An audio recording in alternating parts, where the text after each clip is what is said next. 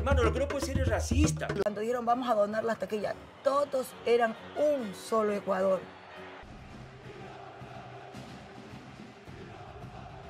El gráfico de Panseri era un gráfico de, de un periodismo crítico, ¿no?